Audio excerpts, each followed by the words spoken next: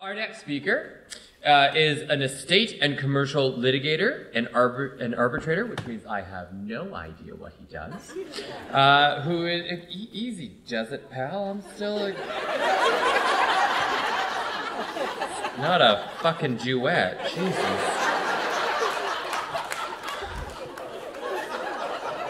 I want to see how long I can make this introduction. he has been working with complex interpersonal dynamics for more than 15 years and also leads a variety of community groups and charitable organizations. Now is your time. Please welcome Benjamin Kormos.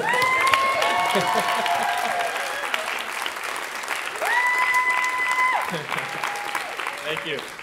So I don't think anybody expected tonight they're going to um, get spiritual advice from a lawyer, but um, I assure you that's one of my intentions. Um, uh, so without further ado, I don't uh, know how to follow all these great speakers, so I'm just going to hit the red button, see what happens, and see if I can win this case.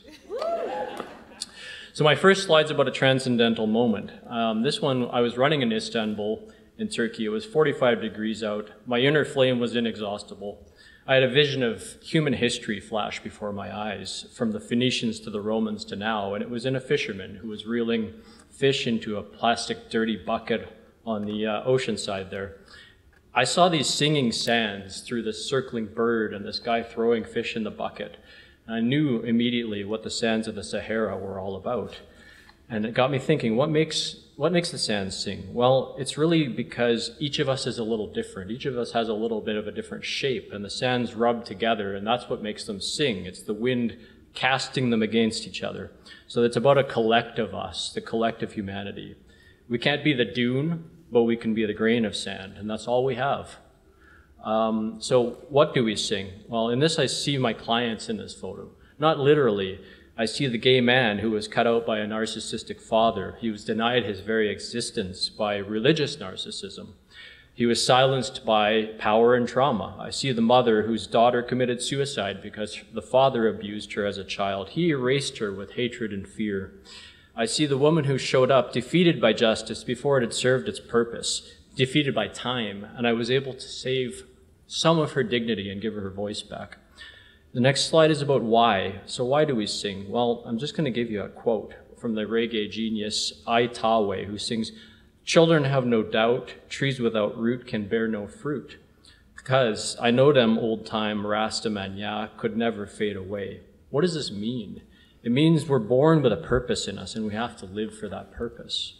So the next one here, um, this one's about the ghosts. Um, sorry, um, I, we've already flown past the ghosts one. This one's my dogs, and they're not ghosts, thank God. Um, uh, so this one really is about discovering our purpose, okay? This one's about unity, and I solo travel, and I take all these random pictures in that. And what I see in this is a lady dancing by herself. Just a beautiful thing. Nobody's bothering her. She doesn't need to worry about any of what I just described about the clients earlier. I can really, literally get out of it and get into life. These three photos, beautiful. Uh, couple here sitting on the Spanish steps, just enjoying a peaceful moment of unity and watching the people go by. The lady in the middle, she's serving a purpose. She's a, a street, uh, basically a street cook and she's enjoying it. Um, this one's about discovering play. So my dogs found this 1980s collage. Someone just like jettisoned out their house, and I was walking by, and I'm like, "That's a cool picture." Why? Because there's something about time that unites us. There's timeless moments, like the horse in the middle, and on the on the right, there's like a psychedelic thing that we had to fly past. That I was going to describe if I had more time. Discovering play. This one's beautiful this is in Pipa, Brazil. And uh, I was just sitting there on the beach. There's this beautiful picture of a lady just enjoying her peace. And there's a unity and a connection just walking past her in this. This one's my friend Richard are you, Richard? Up there. Woo! Give Richard a shout out. He, Richard gave a PechaKucha a couple months ago. That's why I'm here. He got in a frickin' airplane with me with the pilot who looked like he'd just fallen out of a Burning Man somewhere and he was sure we were going to shit our pants before we got on the plane. So that's unity too. Um, so, uh, discovering play. I mean, this one doesn't need a lot of words, but what I wanted to say is it's about children. These are my children. Uh, I'm 42. I don't yet have my own. I'm, i might one day, but these are my children right now, and they always will be. And they unify us. They teach us so much about life. Um, and this, so the third segment's about love being spirit.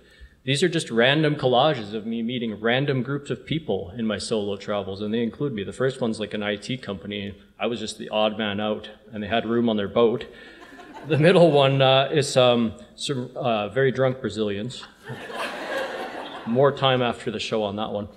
Uh, love is spirit. Family's a choice. I've learned that in my own life. And uh, there's a story there, of course, but these are Brazilians. They're not my blood family, but I found my family in Brazil doing some charitable work. And um, you have to learn your spirit language in this world. And this one also, love is spirit. Trust nature, I'm saying, because basically it's the most natural thing in this world. Um, nature will trust you. I went on this random hike with said Brazilians, and this dog followed me the whole time. I've always had this connection with animals, they've always trusted me. Um, interesting shots. Uh, this is um, this one's about this one's about basically connecting with people as they go by in your life and not missing this moment. The first guy is cooking some sardines in some festival in Portugal. The girl and him are ignoring the sardines. He's turned, he's attuned to her, right? Um, Finally, this one uh, is uh, about some of the art I'm creating in my life and sharing, first, first time ever, uh, sharing some of my own photography beyond the 50 friends I have on Instagram that most of them don't even like it ever. Um, that's okay, I don't care. Uh, and this one's also about a bit of a psychedelic journey um, in my own life and self discovery and uh, seeing all of the amazing things that people can compress in an image, and I'm trying to recreate with my own photo on the right. And there's like a, there's a rainforest in this, believe it or not.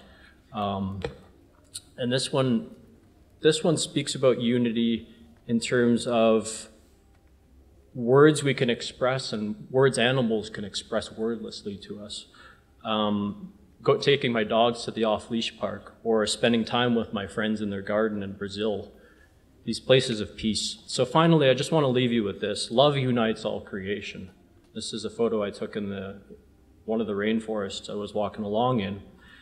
What I've learned through my journey is we come from it, we return to it, and it's all there really is, and the rest is all distraction. Um, people who haven't figured that out yet, they take people to court.